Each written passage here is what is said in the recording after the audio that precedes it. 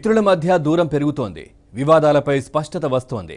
పరిధి దాటి చేస్తున్న విమర్శలపై ఇన్నాళ్ళు నోరు బెదపని చంద్రబాబు ఇప్పుడు మనసులో మాట బయటపెట్టారు. ఇటీవల బీజేపీ శాసనసభా పక్ష నేత విష్ణుకుమార్ రాజు చేసిన వ్యాఖ్యలపై చంద్రబాబు ఒకంత ఘాటుగానే స్పందించారు. మిత్రపక్షంపై ఎప్పుడూ పరిదాటి మాట్లాడని ముఖ్యమంత్రి ఒక్కసారిగా అసంతృప్తి వ్యక్తం చేయడం వెనుక బలమైన కారణాలే ఉన్నాయని చెబుతున్నారు.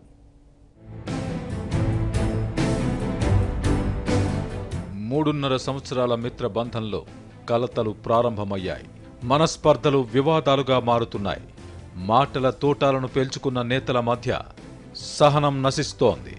ఇప్పటి వరకు బీజేపీ నేతలు చెలరేగిపోగా తెలుగుదేశం ఇప్పుడిప్పుడే బయటపడుతోంది. ముఖ్యమంత్రి చంద్రబాబు నోటి నుంచి వెలువడిన మాటలు ఇరువురి మిత్రుల మధ్య విభేదాలు పెరుగుతున్నాయని చెప్పకనే చెబుతున్నాయి. గుజరాత్ హిమాచల్ ప్రదేశ్ ఎన్నికలలో విజయం సాధించిన రోజు విజయవాడ బీజేపీ రాష్ట్ర కార్యాలయం వద్ద జరిగిన ఉత్సవాల సందర్భంగా బీజేపీ ఎమ్మెల్సీ సోము వీర్రాజు చేసిన వ్యాఖ్యలు పార్టీ ఫిరాయింపులపై వైఎస్ఆర్ కాంగ్రెస్ పార్టీ శాసనసభా పక్ష కార్యాలయంలో బీజేపీ శాసనసభాపక్ష నేత విష్ణుకుమార్ రాజు చేసిన వ్యాఖ్యలను టీడీపీ అధినేత చంద్రబాబు కూడా సీరియస్గా తీసుకున్నారు. ఈ వ్యాఖ్యలపై ముఖ్యమంత్రి చంద్రబాబు పార్టీ అగ్రనేతలతో మాట్లాడారు. విష్ణుకుమార్ రాజు తన సొంత అభిప్రాయంగా చెప్పుకున్నప్పటికీ ఈ వ్యాఖ్యలు తెలుగుదేశం పార్టీ నేతలకు నచ్చలేదు. ముఖ్యమంత్రి కూడా వీటిపై అసంతృప్తిని వ్యక్తం చేశారు. దీంతో పాటు చంద్రబాబు అసంతృప్తికి మరో ప్రధాన కారణం కూడా ఉందని చెబుతున్నారు. దావోస్ ప్రపంచ ఆర్థిక వేదిక సదస్సులో ప్రధాని నరేంద్ర మోదీ ప్రసంగించిన అనంతరం ఆంధ్రప్రదేశ్కు చెందిన స్టాల్కు రావాల్సి ఉంది. దీనిపై ఏపీలో ప్రచారం కూడా జరిగింది. కానీ ఏపీ స్టాల్కు రావాల్సి వస్తుందనే ఉద్దేశంతో మోదీ ఇండియా ఏర్పాటు చేసిన ప్రాంగణానికి కూడా రాకుండా వెళ్ళిపోయారని కొన్ని వర్గాలు విశ్లేషణలు ప్రారంభించాయి. అయితే ఈ వాదనను చంద్రబాబు కొట్టిపారేశారు. ప్రధానికి సమయం లేకపోవడంతో ప్రసంగం ముగించి వెళ్ళిపోయారని అన్నారు. దేనికి రాలే కదా ఆయన? ఆల్ ఇండియా స్టాల్కి కూడా రాలే కదా? టైం లేక ఆయన అక్కడి నుంచి వెళ్ళిపోయాడు రాలేదు రెండుకి రాలేదు. దావోస్ యాత్ర విశేషాలను వివరించేందుకు ఏర్పాటు చేసిన మీడియా సమావేశంలో కూడా మిత్రపక్షమైన బీజేపీ నేతల వ్యాఖ్యలపై కొంత అసహనంగానే కనిపించారు. ఇటీవల పదమూడు డిమాండ్లతో ప్రధానమంత్రిని కలిసినప్పటికీ నాలుగు ప్రధాన డిమాండ్లపై తనకు నోట్ పంపించాలని మోదీ కోరారు. ఆ మేరకు ప్రభుత్వం నివేదిక కూడా పంపింది. మూడున్నర సంవత్సరాల తర్వాత నాలుగు డిమాండ్లపై నోట్ పంపించాలని ప్రధాని కోరడం పట్ల టీడీపీలో అసంతృప్తి వ్యక్తమవుతోంది. కేంద్రం పెట్టిన మెలికల కారణంగా పోలవరం నిర్మాణంలో నెల రోజులు జాప్యం జరిగింది. చివరకు నవయుగ సంస్థ ముందుకు రావడంతో ప్రభుత్వం ఊపిరి పీల్చుకుంది. టెండర్లు ఖరారు చేయాలంటే మరో నెల రోజుల సమయం పట్టేది. పాత రేట్లకు చేసేందుకు నవయుగ ముందుకు రావడంతో ఆ సంస్థకే పనులు అప్పగించారు. బీజేపీ ఎల్పీ నేత విష్ణుకుమార్ రాజు చేసిన వ్యాఖ్యల్ని దృష్టిలో పెట్టుకుని చంద్రబాబు తీవ్రంగానే స్పందించారు. నేను ఇప్పటికీ మా నేతల్ని నియంత్రిస్తున్నాను. ఇటీవల పశ్చిమ గోదావరి జిల్లాలో జరిగిన సంఘటనలపై మా నేతల్ని సంయమనం పాటించమని ఆదేశించాను. మిత్ర ధర్మం మా వైపు నుంచి పాటిస్తున్నాం.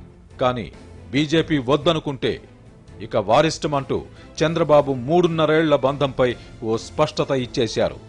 వాళ్ళు వాళ్ళే వాళ్ళ లీడర్షిప్ వాళ్ళే ఆలోచించుకోవాలి తప్ప నేను చెప్పాను మిత్రపక్ష ధర్మం వల్ల నేను మాట్లాడను. మా వాళ్ళని కూడా నేను ఇంకా కూడా కంట్రోల్ చేస్తున్నా కంట్రోల్ చేస్తాను. నేను ఇప్పుడు కూడా చేస్తాను. నిన్ను కూడా నాకు ఎయిర్పోర్ట్లో కథ కనిపిస్తే తాడేపల్లి కూడా కనిపిస్తే తిట్టే పట్టుకొని. డోంట్ టాక్ ఒకవేళ వద్దనుకుంటే నమస్కారం పెట్టి అప్పుడు మాట్లాడుకుందాం మిత్రపక్షాలుగా పోటీ చేసి అధికారంలోకి వచ్చి మూడున్నర సంవత్సరాల తర్వాత కూడా రాష్ట్రానికి బీజేపీ ఏమీ చేయలేదనే అసంతృప్తి అటు రాజకీయ పక్షాలతో పాటు ఇటు ప్రజల్లో కూడా తీవ్రంగా ఉంది. ఈ వ్యతిరేకతను గమనించిన తెలుగుదేశం ఇప్పటి వరకు సంయమనం పాటించినప్పటికీ ఎన్నికల సంవత్సరంలో ఇక బయటపడాలనే నిర్ణయానికి వచ్చింది అనేది స్పష్టమవుతోంది. ప్రత్యేక హోదా ఇస్తే బీజేపీతో కలిసి పోటీ చేసేందుకు తాము సిద్ధమేనని వైసీపీ నేత జగన్ ప్రకటించిన తర్వాత ఏపీ రాజకీయాలు బాగా వేడెక్కాయి.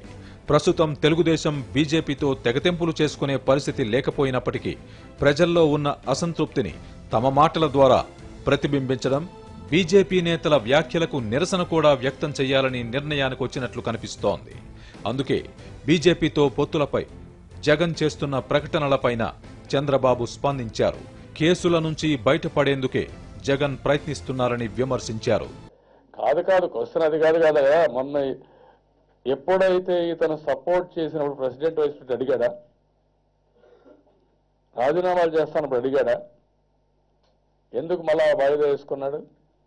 అంటే నిమిషానికి ఒక మాట మాట్లాడి ప్రజల్ని మోసం చేయాలి మభ్య పెట్టాలి ఇదేదో పెద్ద ప్రత్యేక హోదా కోసం ఫైట్ చేస్తున్నానని చెప్పుకోవాలనుకుంటే ఎవరు దానికి సమాధానం చెప్పలేం. వీళ్ళకు ఒక అతనికి కావాల్సిన ప్రస్తుతం ఆయన కేసులు కావాలి. నేను ఎన్నోసార్లు కేంద్ర ప్రభుత్వాన్ని కూడా కోరింది ఏంటంటే ఆ ఆస్తులు రాష్ట్ర ప్రజలవి. ఈరోజు ఏ ఆస్తులైతే రాష్ట్ర ప్రజల ఆస్తులు ఉన్నాయో తిరిగి తీసుకొని ఇల్లీగల్గా సంపాదించిన ఆస్తులు ఎవరైనా కావచ్చు ఆయనే కాదు ఎవరైనా సరే. ఆ ఆస్తులు తీసుకొని మళ్ళా రాష్ట్ర ప్రజలకు ఖర్చు పెట్టాలి. బీహార్లో చేశారు ఒరిస్సాలో కూడా చేశారు ఎన్నికలకు మరో ఏడాది సమయం ఉండడంతో ఎప్పటికిప్పుడు తెగతెంపులు చేసుకుంటే వచ్చే అరకొర ఆర్థిక సాయం కూడా ఆగుతుందని మరోవైపు తెలుగుదేశంలో అంతర్మథనం సాగుతోంది.